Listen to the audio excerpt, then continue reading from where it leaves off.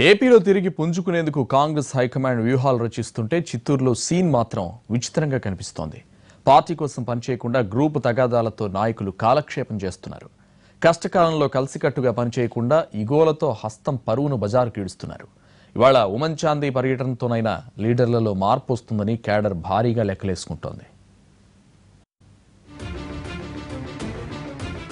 రాష్ట్ర విభజన పాపం మూటగట్టుకున్న కాంగ్రెస్ పార్టీ ఏపీలో గడ్డి పరిస్థితిని ఎదుర్కొంటోంది.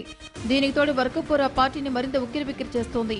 నేతల మధ్య ఆధిపత్య పోరుతో అంది వచ్చిన అవకాశాలను ఉపయోగించుకోవడంలో హస్తం పార్టీ అట్టల్ ఫ్లాప్ అవుతుందనే వాదనలున్నాయి.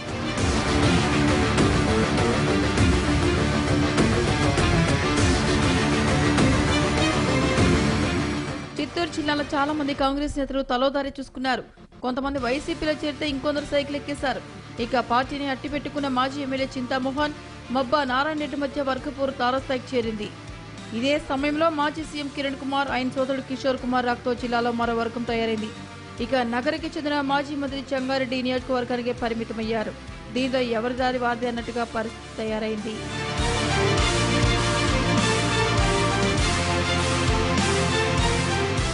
గతంలో జరిగిన ఉప ఎన్నికలో చింతామోహన్ని కాదని మహిళా నాయకురాలు శ్రీదేవికి టికెట్ ఇవ్వడంతో విభేదాలు భగ్గుమన్నాయి.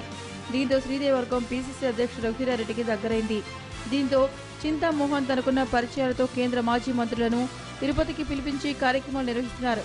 అయితే మిగతా నాయకులకు ఆహ్వానం లేకపోవడంతో అవి ఆయన సొంత కార్యక్రమాలుగానే మిగిలిపోయాయి. మరోవైపు హోదాపూర్లో ధర్నాలు నిరసనలు తప్ప స్థానిక సమస్యలపై నేతలు పెద్దగా స్పందించడం లేదనే ఆరోపణలున్నాయి.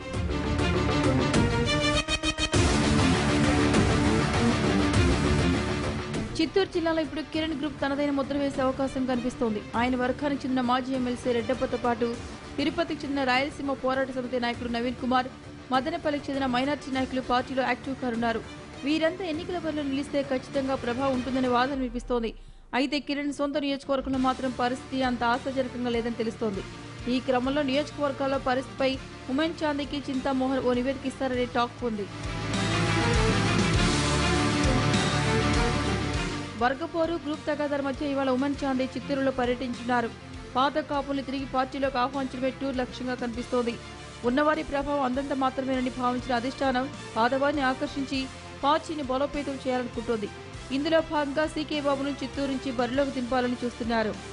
జిల్లాలోని ఒకప్పటి కాంగ్రెస్ నేతల వివరాలను ఉమెన్ చాందీకి ఇవ్వనుంది ఏపీసీసీ. లిస్టులో ఉన్న వారితో ఆయన స్వయంగా మాట్లాడి పార్టీలో పిలిచే ఛాన్స్ ఉంది. వీరిలో మాజీ ఎమ్మెల్యేలు ఎమ్మెల్సీలతో పాటు స్థానిక సంస్థల పదవులు అనుభవించిన వారు ఉన్నట్టు తెలుస్తోంది. దాదాపు వంద మందికి పైగా నాయకులు గుర్తించి పార్టీలో యాక్టివ్ చేయాలని చాందీ వ్యూహంగా కనిపిస్తోంది. ఉనికి కోసం తాపత్రయపడుతున్న తరుణంలో నేతల మధ్య విభేదాలు అధిష్టానానికి తలనొప్పిగా మారాయి. అయితే ఉమేన్ చాందీ పర్యటనతో పరిస్థితులన్నీ చక్కబడతాయని పార్టీ కేడర్ భావిస్తోంది.